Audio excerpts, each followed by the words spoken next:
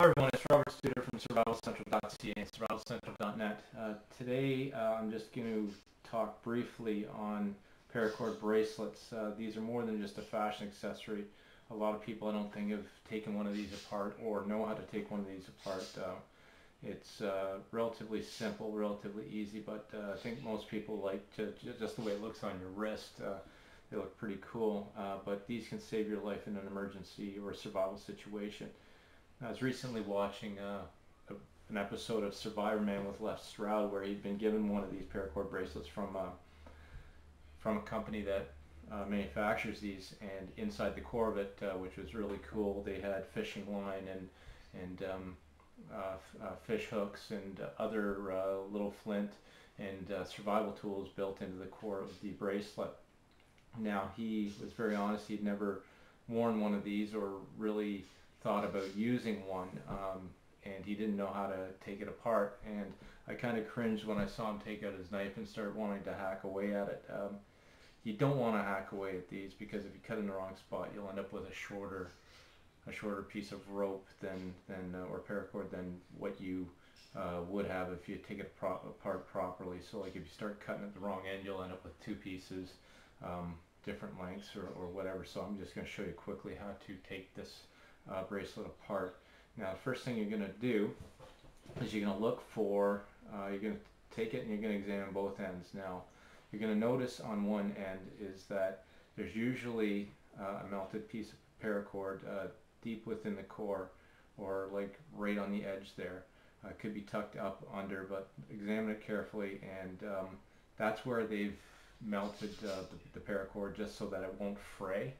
So you're going to look for something like that. I, I, don't know if you can see that or not, but uh, this one, so it shows both ends right there. So just remember this is one continuous uh, end. If you don't see it on this end, then flip it around and look for it on this end. On this bracelet I have um, with uh, the little um, handcuff key here, uh, the uh, universal handcuff key uh, that we sell on um, prepperextreme.com. Now, you'll see that uh, you can, I hope you can see that, it's a little bit melted. And that's where I would start taking it apart if I uh, needed it. So basically we're just going to take this apart and if you need tools, sometimes you do, sometimes you don't. This one should be relatively easy to get off. So yeah, see there we go, there's the first strand, there's second strand, and then we're just going to start um, taking it apart here. This one's rather loose, that's why I picked this one to show you.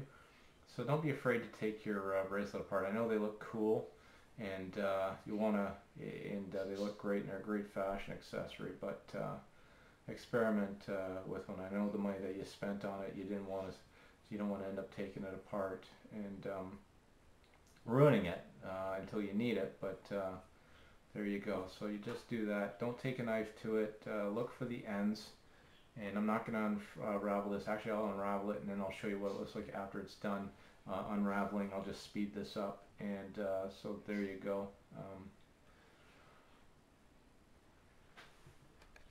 you have it. There's the paracord bracelet all taken apart. We didn't have to use any knives or any tools uh, to get it all in one strand. So just remember just to look at your bracelet carefully and uh, look for either some melted uh, strands at the end or uh, some, who, who knows, uh, some uh, loose strands and that's where you'll start taking it apart with this. So don't cut these and then you'll end up with one piece and then if you decide to cut it, you can cut it at a later time. Uh, check out our new prepper website, prepperextreme.com where we also sell some paracord bracelets with um, the the universal handcuff key right in the buckle. So until next time, this is Robert Studer for survivalcentral.ca, survivalcentral.net, and also now prepperextreme.com. Until next time, be prepared, stay safe, and survive. Thank you for watching.